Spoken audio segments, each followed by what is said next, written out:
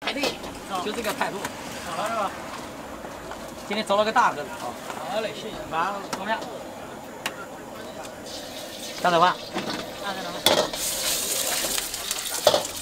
怎么说？啊。我家也跑了嘛。赶紧珍惜眼前啊！过一段时间过来就要排队了啊！大家，过段时间你可以跟别人炫耀，这老板我经常以前经常照顾他看一下现在生意火成什么地步？老板火的都没边了，我操！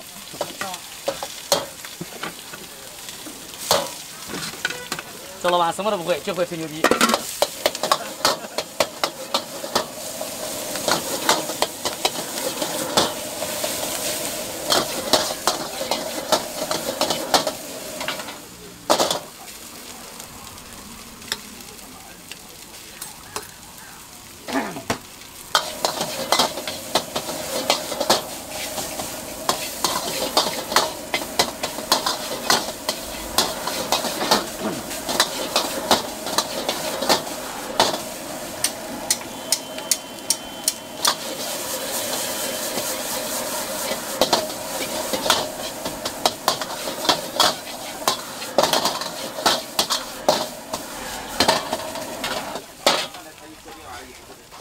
他想学习美食吧，中国的美食，这种地方文化美食，带带到带到韩国去，知道吧？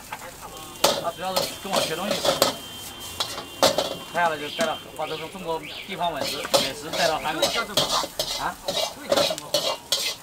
他上电视，我这这不可能，这只是一个自己爱好拍摄的这朋友。加个床是吧？十一块钱，送你一片豆干啊。